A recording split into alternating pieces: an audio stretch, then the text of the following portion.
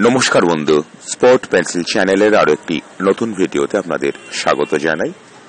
একই সঙ্গে আমি ইস্টবেঙ্গল সমর্থকদের কাছে আবেদন করব যে স্পট পেন্সিল চ্যানেল মূলত শুধুমাত্র ইস্টবেঙ্গল ক্লাবকে নিয়ে ভিডিও করে। যে বাজারে ইস্টবেঙ্গল সমর্থক আছেন, অসংখ্য ইস্টবেঙ্গল বন্ধু আমার চ্যানেলের সাবস্ক্রাইবার। আপনিও দেরি করবেন না। নতুন, আপনি প্রথমবার আমার চ্যানেলটা দেখছেন বা শুনছেন। আমার ভিডিওর নিচে থাকা সাবস্ক্রাইবার বাটনটি জাস্ট প্রেস করুন বা ছুঁয়ে দিন। তারই আপনি হয়ে যাবেন স্পোর্ট পেন্সিল চ্যানেলের একজন গুরুত্বপূর্ণ অংশীদার। দেরি করবেন না বন্ধু ভিডিওটা শোনার আগে, দেখার আগে টুক করে ছুঁয়ে দিন। আমি আশা করি আপনি হয়ে গেলেন সাবস্ক্রাইবার এবার যেটা বলতে হয়, কিংবদন্তি ফুটবলার এবং একই সঙ্গে প্রশিক্ষক। তিনি কোনোদিন লাল হলুদ জার্সি গায়ে দেননি, তবে লাল হলুদদের বহু সাফল্যে নেপথ্য কারিগর তিনি, একজন প্রশিক্ষক হিসাবে। তার নামটা বলাই বাহুল্য। প্রয়াত কিংবদন্তি, ফুটবলার এবং প্রশিক্ষক পি কে ব্যানার্জি বা প্রদীপ কুমার বন্দ্যোপাধ্যায়। তার আজ তৃতীয় মৃত্যুবার্ষিকী। স্পোর্ট পেন্সিল চ্যানেল জানায় বিনম্র শ্রদ্ধাঞ্জলি। বন্ধু, এবার চলে আসব ভিডিওর আসল মূল প্রসঙ্গে। প্রথমে একটু শিরোনামটা বলে দিই। জোসেফ ফাম্বই উড়িষ্যা এফসির কোচ। তিনি আঠারো উনিশে ছিলেন উড়িষ্যা এফসির কোচ। তারপর দু বছর পরে তার কামব্যাক ঘটেছিল এ মরশুমে। উড়িষ্যা এফসি এবারে সুপার সিক্সও জায়গা পেয়েছিল, তবুও তাকে অপসারণ করা হয়েছে মানে সোজা কথা সরিয়ে দেওয়া হয়েছে। তিনি এই মুহূর্তে ফ্রি এজেন্ট আমি আগের দিন ভিডিওতে বলেছিলাম যে তার সঙ্গে ইমামি কর্তৃপক্ষ যোগাযোগ করেছে। আজকের দিনের আলোর মতো পরিষ্কার বন্ধু, প্রত্যেকটা মাধ্যম বলছে। তার সঙ্গে যোগাযোগ শুধু হয়নি, দ্বিতীয় দফাতেও তার সঙ্গে কথা হয়ে গেছে। শেষ পর্যন্ত এই জোসেফ আম্বই দীর্ঘকায় ফুটবলার জীবনে তিনি ছিলেন মূলত গোলরক্ষক পজিশনে স্প্যানিশ পাঁচ ফুট এক ইঞ্চি তার মাফ করবেন ছ ফুট এক ইঞ্চি তার উচ্চতা। তিনি হয়তো শেষ পর্যন্ত ইমামির পছন্দের কোচ হয়ে আগামী মরশুমে লাল হলুদ জার্সির দায়িত্ব নেবেন।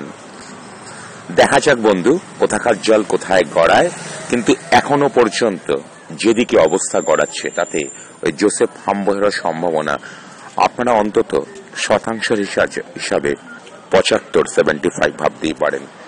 ঠিক এই জায়গাটা থেমে গিয়ে আমি একটা কথা বলি। আজকে ওই মোহনবাগানের ওই সংবর্ধনা সভায় মাননীয় মুখ্যমন্ত্রী গিয়েছিলেন।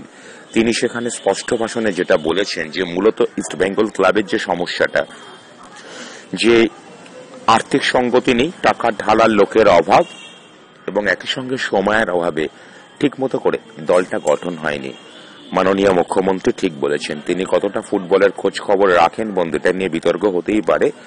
তবে আজকের দিনে দাঁড়িয়ে তিনি ঠিকই বলেছেন যে সত্যি করে মূলত এই দুটো বিষয়, একটা হচ্ছে অর্থের অভাব এবং খুব দেরি হয়ে যাওয়াতে এত কম সময়ের মধ্যে দল গঠন। আপনারা ভেবে দেখুন বন্ধু ইস্টবেঙ্গল বারবার ঝাড় খাচ্ছে। ঠিক মতো করে বাজেট নেই, ভালো ফুটবলার নিতে পারছে না। আর একই সঙ্গে এমন একটা সময়ে দল গঠনের চেষ্টা ইস্টবেঙ্গল করছে, যখন সবাই সবার মতন করে দলটা তৈরি করে নিয়েছে। বাজারে পড়তি ছড়তি কিছু ফুটবলারকে নিয়ে একটা দল গঠন করলে যা পরিণতি হতে পারে, সেটাই বারবার হচ্ছে ইস্টবেঙ্গল ক্লাবের ক্ষেত্রে। এবারে কিন্তু একটু ব্যতিক্রম হওয়ার একটা সম্ভাবনা বন্ধু আছে। তার কারণ অনেকটা সময় আছে হাতে।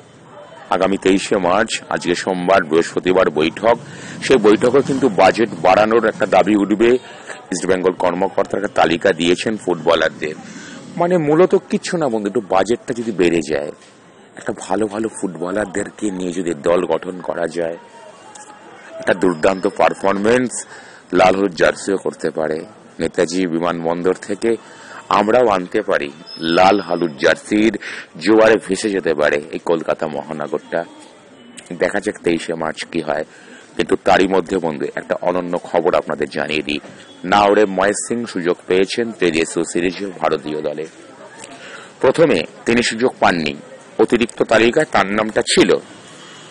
কিন্তু শেষ পর্যন্ত চোট আঘাত শিবাশক্তির কথা শুনেছেন যে ইমার্জিং ফুটবলার হয়েছেন। নাওরে মহেশ সিং এর সামনে খুলে গেল দরজা।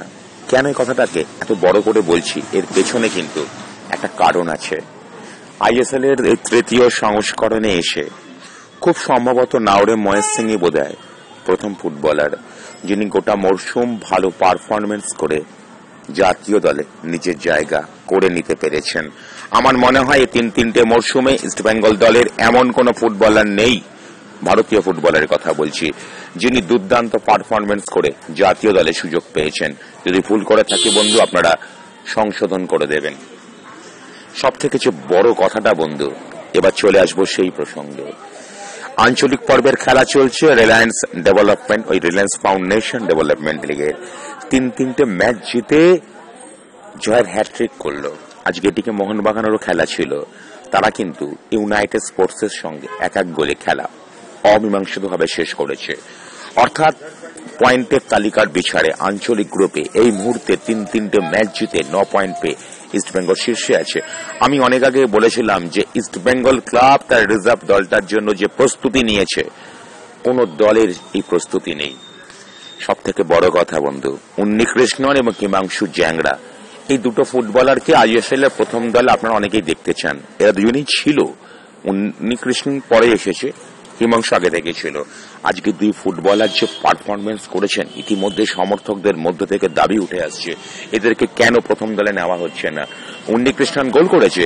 উড়িষ্যা এফসিকে দুই এক গোলে হারিয়ে তিনটে ম্যাচে ন পয়েন্ট পেয়ে এই মুহূর্তে এই আঞ্চলিকে শীর্ষে আছে। ইস্ট বেঙ্গল ক্লাব চ্যাম্পিয়ন হওয়ার সমস্ত রকম রসদ, মাল মশলা এই দলটার মধ্যে মজুদ আছে। জোসেফ হাম্বই কোচ হয়ে আসছেন। তার সম্ভাবনা বললাম ওই যে সেভেন্টি ফাইভ পঁচাত্তর শতাংশ। যদি তাই হয়, তাহলে আশা করব স্টিফেনের মতো তিনি এই দুটো ফুটবলারকে ব্রাত্য নজরে দেখবেন না। দেখা যাক বন্ধু, কোথাকার জল কোথায় গড়ায়। ধন্যবাদ।